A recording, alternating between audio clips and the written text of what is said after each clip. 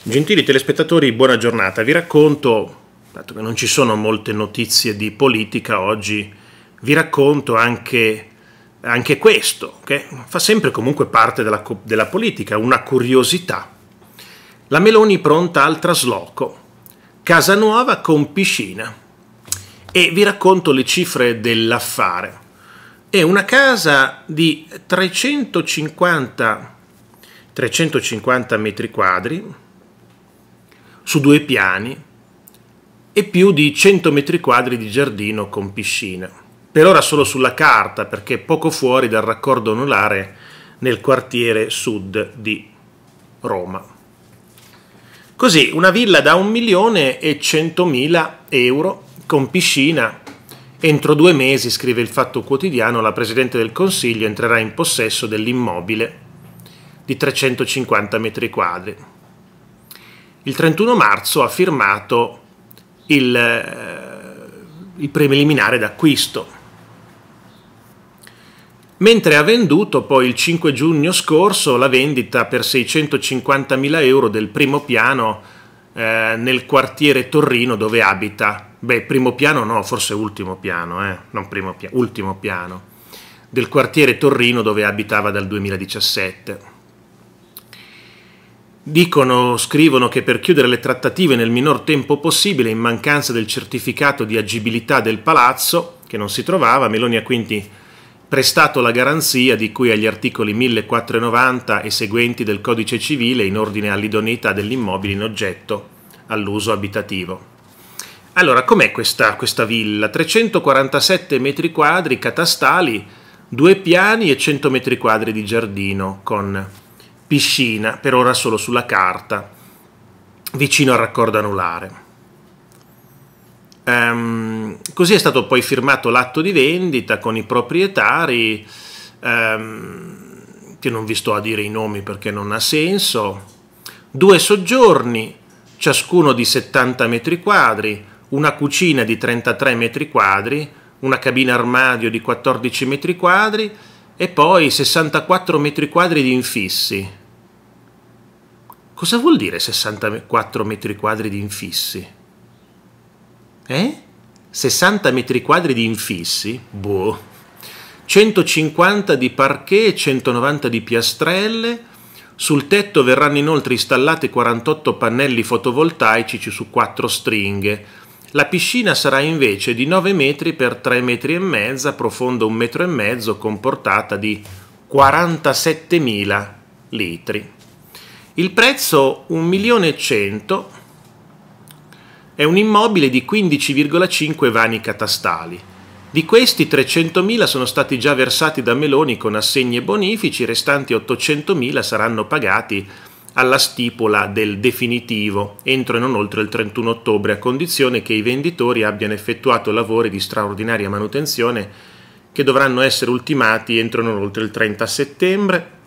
Poi il fatto, dice, si prevede 177.000 eh, euro per la ristrutturazione interna, 104.000 euro per l'impianto fotovoltaico da 20 kW e impianto termico ibrido da 46 kW, più opere esterne per 77.000 euro, dei quali 30.000 solo per la piscina, per un totale di 359.000 euro più IVA inclusi già nel milione e centomila euro eh, pattuiti.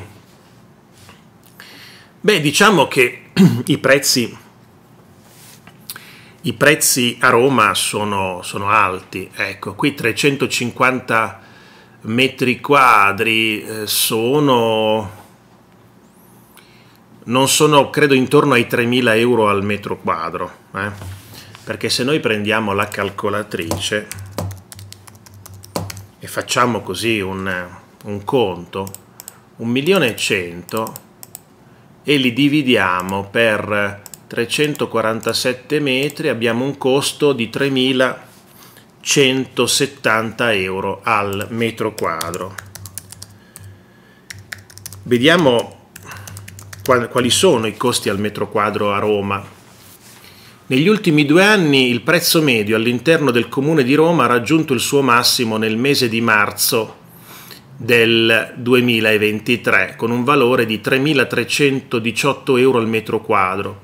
Il mese in cui è stato richiesto il prezzo più basso è stato settembre 2021 per un immobile in vendita richiesti in media 3.253 euro al eh, metro quadro. Poi diventa dipende anche dalle zone, perché per esempio eh, adesso l'affitto sono 15, 15,05 15, euro al metro quadro.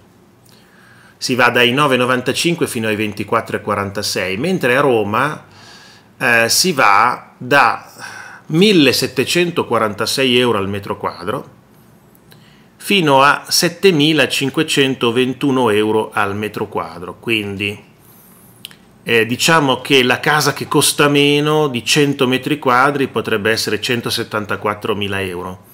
La casa che costa di più di 100 metri quadri potrebbe a sette, arrivare a 752.000 euro. Quindi una casa, un appartamento di 100 metri quadri, magari in una zona super prestigiosa del centro di Roma vi costa anche 752.000 euro per 100 metri quadri.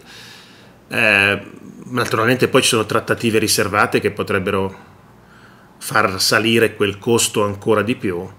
Mentre nella zona meno cara di Roma un 100 metri quadri può essere 174-175 mila euro capite che ricevere comunque un'eredità di una casa a Roma, insomma, eh, vi dà un bel, un bel po' di soldini. Naturalmente poi a sinistra, se voi ricevete una casa d'eredità a Roma che vale 500.000 euro, siete considerati dei ricchi, quindi magari guadagnate 1.300 euro al mese ma ricevete quell'eredità, per Fratoianni, quelle persone lì, siete già dei ricchi da tassare con patrimoniale perché avendo immobili di quel tipo lì e poi si scopre che magari è un 100 euro metri, quadri della nonna che, che, che, vi ha lasciato e che siete diventati ricchi per la sinistra con, quel, con quell'eredità, ma continuate a lavorare alzandovi alle 5 del mattino per 1200 euro al mese.